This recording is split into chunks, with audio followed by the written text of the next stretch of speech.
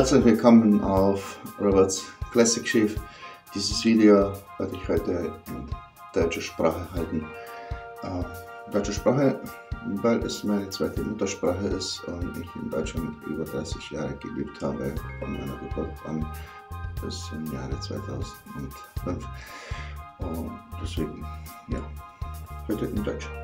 Was werde ich heute in dieser Rasur nehmen, äh, ist äh, die das Wort Chavette. Äh, ja, ziemlich abenteuerliches Vergnügen für mich, weil äh, ich noch in der Phase vom Lernen bin, mit diesem Ding umzugehen. Und wie ich auch gehört habe, ist es eines von den am schwierigsten zu hantierenden Rasiergeräten. Und äh, naja, so wie ich jetzt weiß, äh, hätte ich mir lieber vielleicht ein richtiges Rasiermesser gekauft. Äh, das Problem ist nur, ich kann selber nicht schleifen und in der Nähe von mir gibt es keinen Schleifmeister und irgendwo in die Pfanne zu schicken, so ein Ding, äh, naja, ist für mich momentan ein bisschen zu abenteuerlich. Okay, das wird ein Produkt. Dann als, äh, als Rasierpinsel werde ich den Naples von Yaki 20 24 mm nehmen. Ein sehr schöner Brush, weiß-blau. Äh, gut, ja, als äh, Rasier Creme und äh, Rasier Aftershave Splash werde ich äh, von Slayer de Amaris nehmen. Äh, ein Barbazent, was mir sehr gefällt. Kräftiger und je, noch, ja, je älter ich werde, desto mehr mag ich diese kräftigen ja, Düfte, ja, so die schweren. Äh, auf der Seite von, von Netz Plus Ultra Cosmetics äh, steht folgendes für die Duftnote vom Aftershave. De Amaris, das lese ich euch jetzt mal vor. De Amaris Barber Original Aftershave Splash ist der perfekte letzte Schliff für eine frische Rasur. Eine süße Mischung, die von bekannten Pariser Parfümern entwickelt wurden. Einen komplexen, blumigen Touch, erleuchtet von einem amberfarbenen Herzen. Die prickelnden, frischen Kopfnoten bringen Leichtigkeit in diesen angenehmen Duft. Kopfnoten, Neroli, Bergamote, schwarzer Pfeffer. Herznoten Safran, Amber, Jasmin, Basisnoten Tabak, Zederholz und Kaschmir. Als Pre-Shave oder Vorrasurbehandlung werde ich äh, den Cube von DEA nehmen. Äh, ich werde jetzt mein Gesicht vorbereiten für die Rasur. Äh, Alaun für die Finger, dass ich eine Festigkeit habe, werde ich den Ausmalblock benutzen. Äh, ja, und ich gehe jetzt alles vorbereiten und dann bin ich gleich wieder da. So, ich bin vorbereitet, ich und mein zwei Tage circa alter Bart. Ja, und ich mache es auch, weil ich auch viele deutsche Freunde habe äh, auf meinem Kanal und auch so als äh, Rasierfreunde äh, Facebook und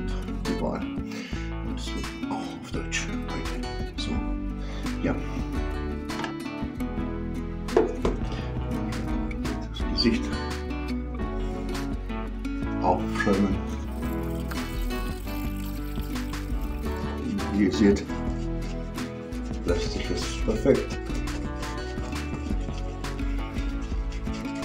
Das Aufschäumen, diese Creme hat wirklich einen sehr angenehmen Duft. Für mich hervorragend. Und genau wie es muss. Diese Rasiercreme ist wirklich sehr günstig. Äh, ich weiß jetzt nicht genau, wie ich weiß, ich werde so da, da, da. in Scheiben, so ihr Preis sieht, oder in den Beschreibungen vom Video selber, werde ich dann äh, den Preis äh, schreiben und ja, dass ihr irgendwie, was ich dafür bezahlt habe. Aber es ist wirklich sehr, sehr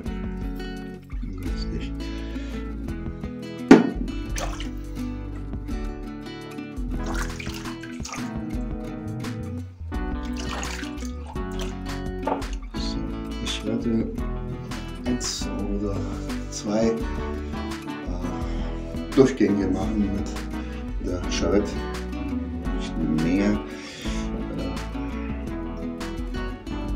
wie gesagt, ich bin noch in der Lernphase und der Querpass, der geht bei mir gar nicht noch.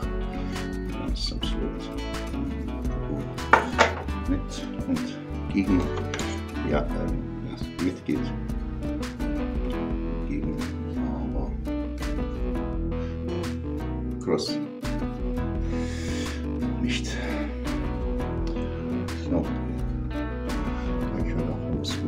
sprechen.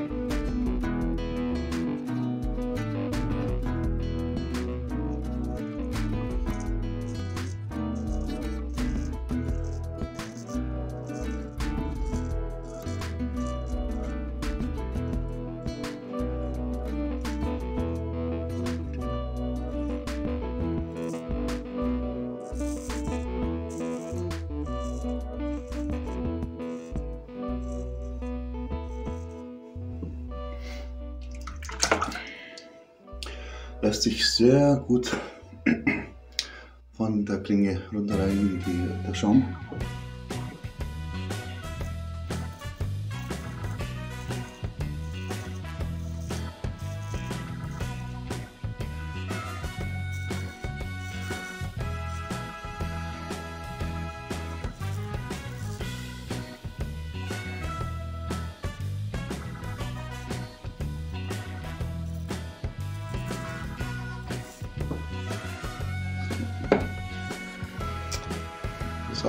Mich ist, ja, mit meiner linken Hand zum Arbeiten.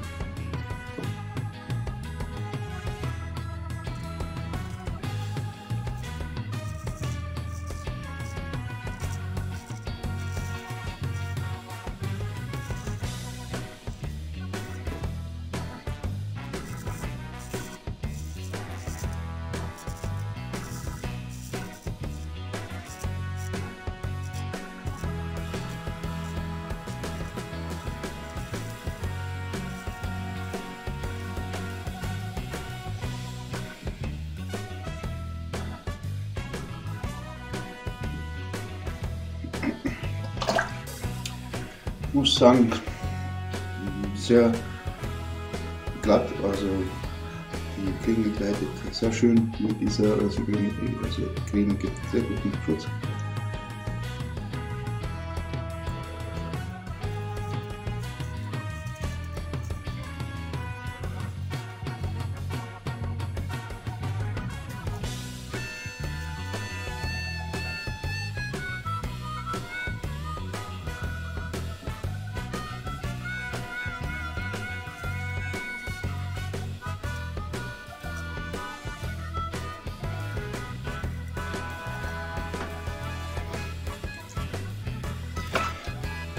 Ja, hier unter der.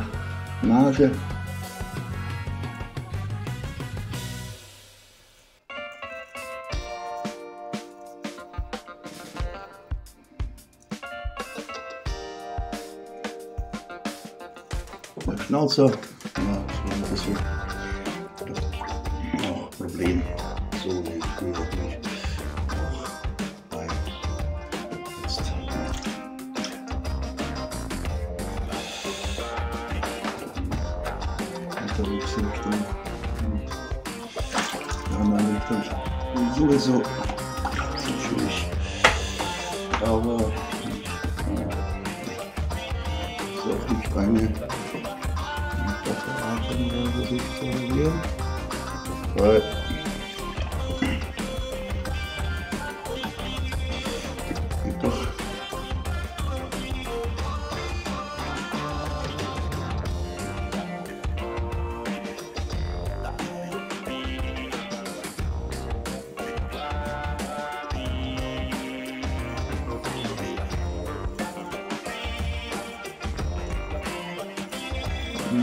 ist auch so Punkt bei den Videos.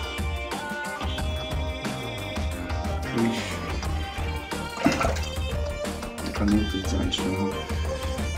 Mit, mit mir und der Kamera. Ähm,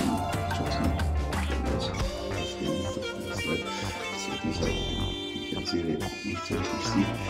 Äh, Gerade jetzt bei Bescheid muss ich doch Hals auch richtig sehen, was ich mache.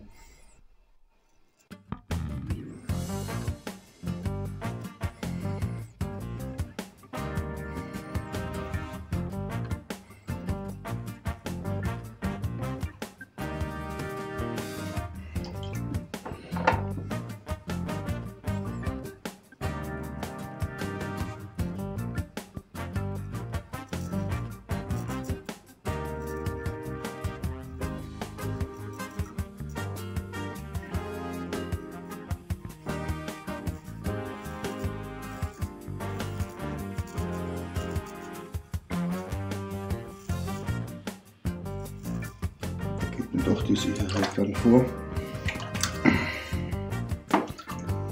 Ihr werdet jetzt hier auf dieser Seite sehen, dieselbe wie in Rot, günstiger.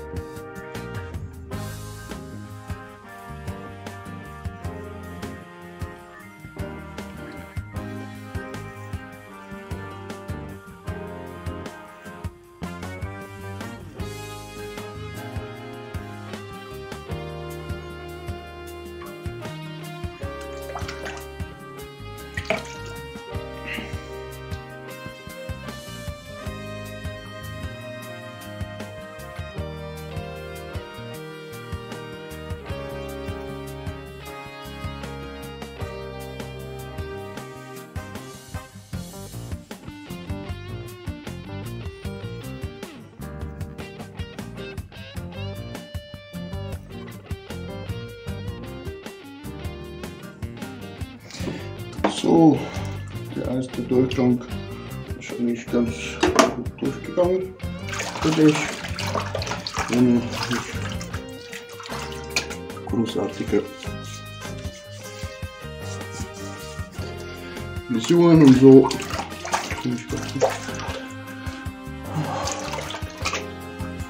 Auch wäre ich so, so für so einen Arbeitstag ganz zufrieden mit der Asur perfekt, aber reicht vollkommen aus, äh, zur Arbeit geht. Ja, ich muss jetzt eigentlich aufhören. Äh, das Aftershave auf Licht schmieren und ab in die Arbeit. Anziehen, okay? Ja. Ja, klar. Oder umziehen.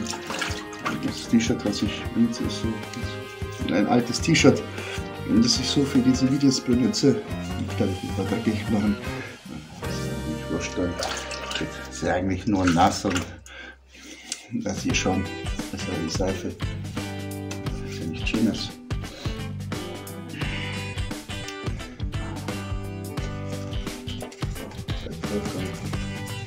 Ich habe ungefähr äh, eineinhalb bis zwei Zentimeter von diesem Rasiercreme in, in den Brush äh, sie dann sich.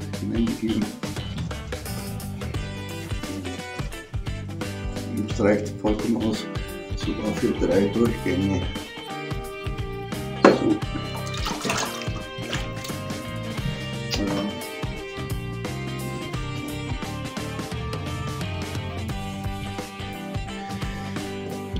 zweiten Durchgang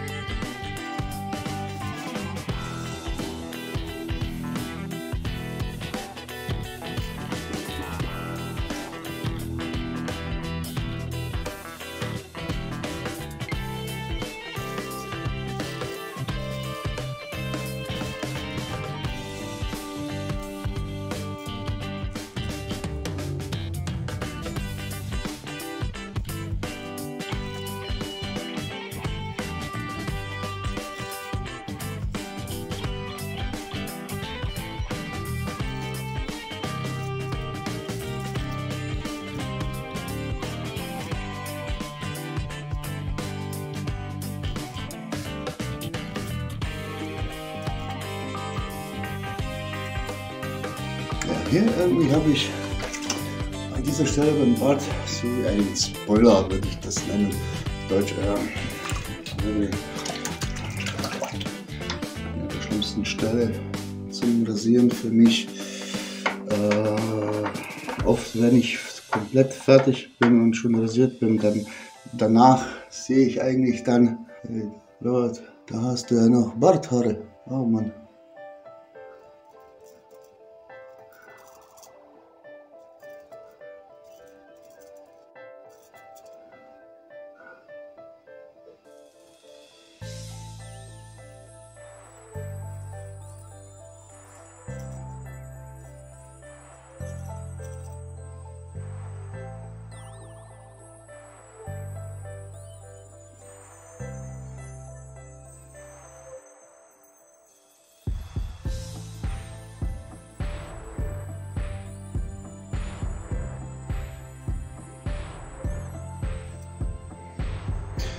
Ich stretche, ihr seht das vielleicht nicht, aber wenn ich mich so rasiere ich stretche, indem ich hier mit meinem Daumen mit meinen Fingern hier unten so und meinen Hals nach oben ziehe.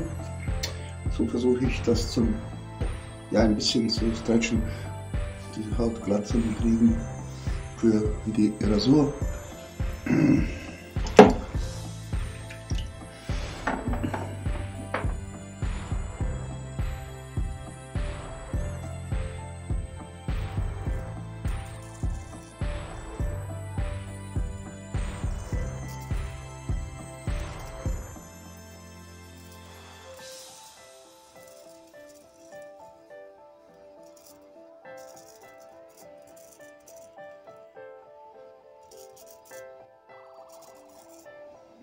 So. Ja, die Wangenparties, die gehen noch einigermaßen, würde ich sagen.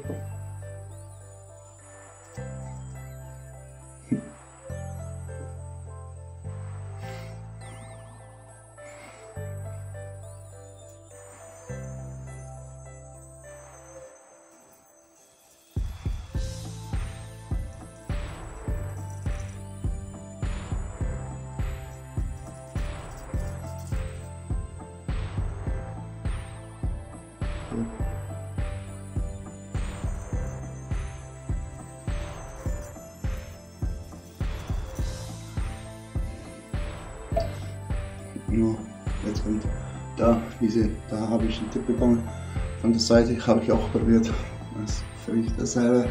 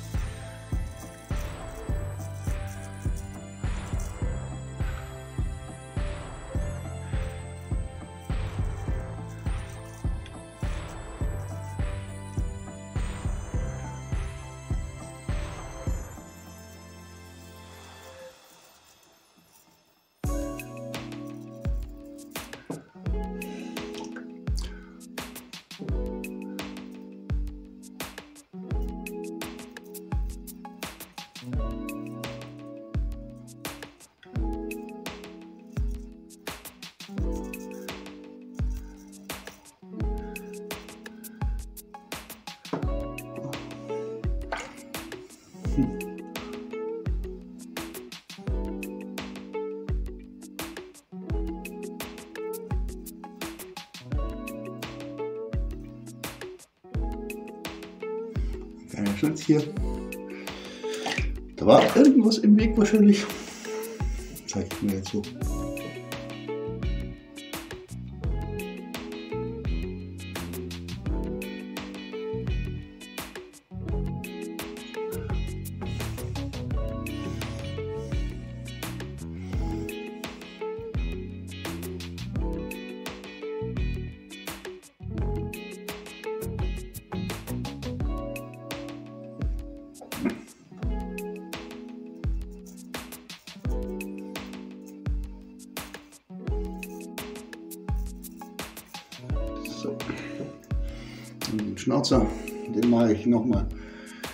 Mit, weil weder noch seitlich noch von unten.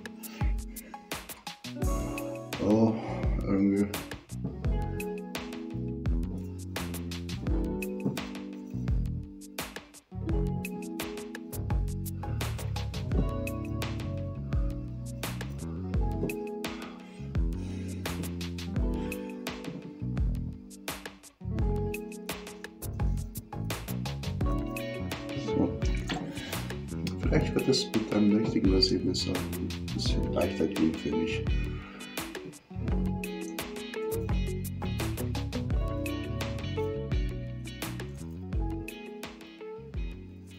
Aber zuerst muss ich jemand hier in der Nähe herausfinden, der gut, äh, das mit dem Leder und so Riemen abziehen, das wird gehen. Das ist kein Problem. Äh, ich denke auch Schleifen wird nicht so oft gebraucht, aber trotzdem möchte ich jemanden in der Nähe haben, so etwas mein Gesicht ab, der dann das Rasiermesserschleifen richtig drauf hat, dass ich dann zudem einfach mit dem Auto hinfahren kann und das abgeben kann. Und ja, dann mir das abschleifen kann.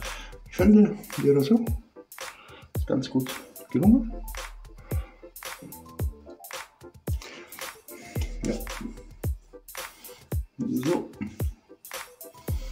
Ich warte.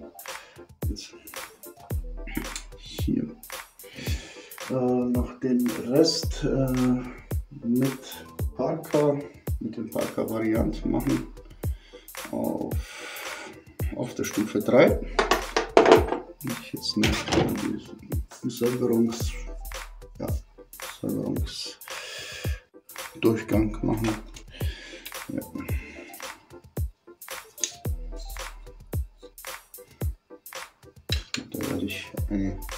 Auch derbe extra Klinge nehmen. Die ist jetzt komplett neu. Die halbe, das war der zweite Durchgang mit der halben. Die habe ich jetzt schon zum zweiten Mal benutzt. Äh, die, was in der Chavette drin ist, falsch eingesetzt. Die Klinge in der, in der Variante hat ja so ein Zeichen, äh, hier, ja, wir müssen zusammen sein. Das ist nicht gut. So, so ähm, gehen wir auf. Was habe ich? Zwei, drei habe ich gesagt. Ich gehe doch auf zwei. Das wird vollkommen ausreichend für den Rest. So, machen wir aufstellen. Ich werde auch ein bisschen gleich kürzen, das Video in ein paar Stellen.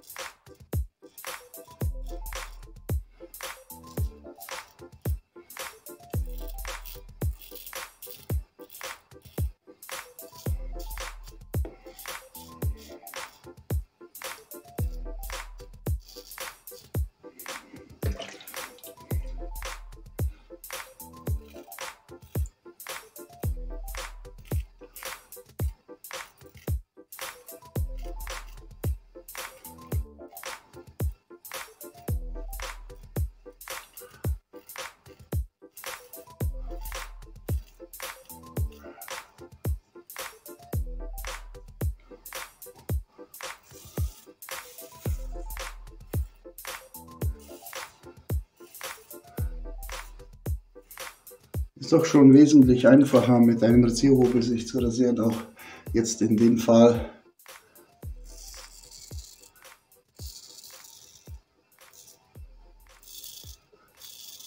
Dem Parker Variant, der doch von, ich sag mal so, etwas über den Kingsley Gillette anfängt auf der Stufe 1 äh, doch schon ein bisschen effektiver ist als der Kingsley Gillette. Und bis zu ja, dem Plus 5, also eine 10, äh, wo er dann extrem aggressiv ist. Und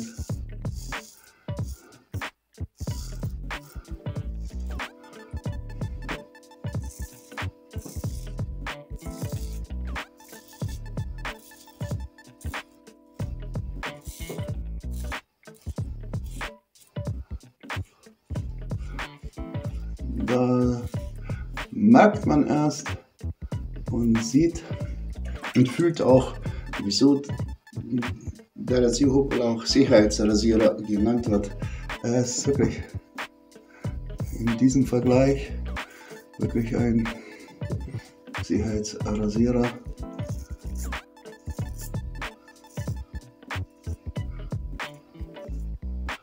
Natürlich muss man Übung haben.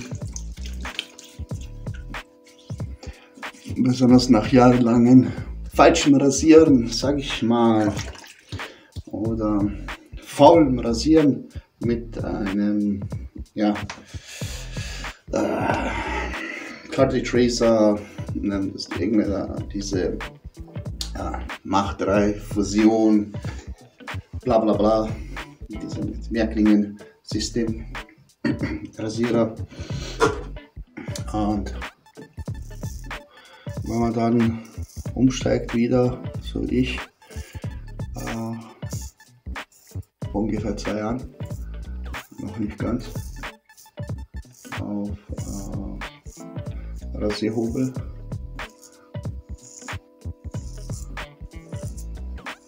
Mein erster war der Kingsley Gillette. Ja, dann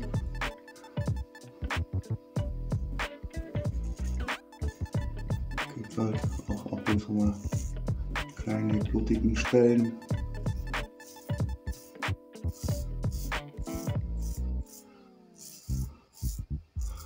Aber im Vergleich zu dem, auf was man mit einer Schallei Acht geben muss, aufpassen, ist das hier hm, ein reinstes Vergnügen. Jetzt, nach dieser Zeit. So, jetzt lasse ich das Wasser aus dem Waschbecken heraus wasche mein Gesicht mit kaltem Wasser ab.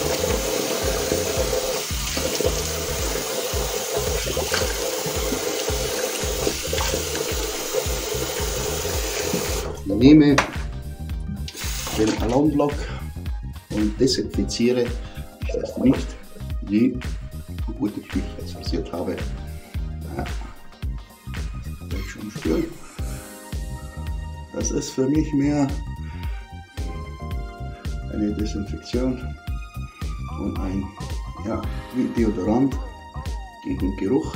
Nach kurzer Zeit, wenn es dann anfängt im Gesicht so zum Ziehen, ihr kennt das wahrscheinlich, wenn ihr das Alarm benutzt habt, äh, dann wasche ich mir einfach das Gesicht ab.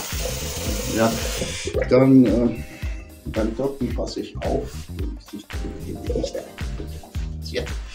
Da bin ich rubbeln, aber die Sicht wird nicht gerubbelt. Die Sicht wird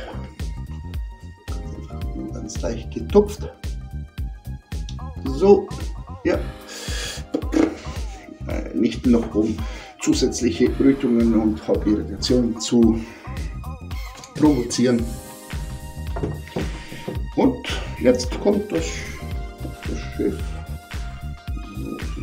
schaut eigentlich ganz super und sehr elegant, diese Flasche aus. Und dieser schaut aus wie so ein, Autoreifen oben drauf, ja, mit so Felge. Bin ich ja so, sehe so mit Profil. Also, ist auch mein erster Papa-Cent. Muss ich jetzt nicht mehr sagen. Und, ah, gefällt mir. Ja, ja, ja. Äh, würde ich jetzt nicht trinken, doch, aber jetzt hm, vielleicht doch, wenn es sowas zu trinken geben würde.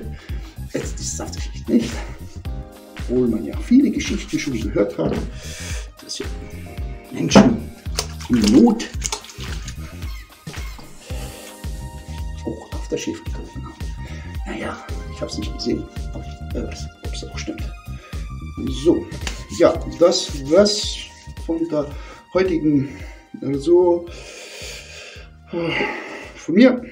Ich bedanke mich heute bei allen meinen Zusehern, heute besonders bei meinen deutschen Zuschauern und auch die, die der deutschen Sprache mächtig sind und auch bei allen anderen, bei allen neuen Zuschauern, Abonnenten natürlich also bei den neuen Abonnenten und auch bei den bestehenden Abonnenten bedanke ich mich.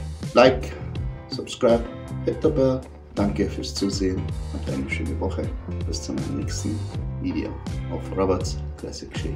Danke und auf Wiedersehen.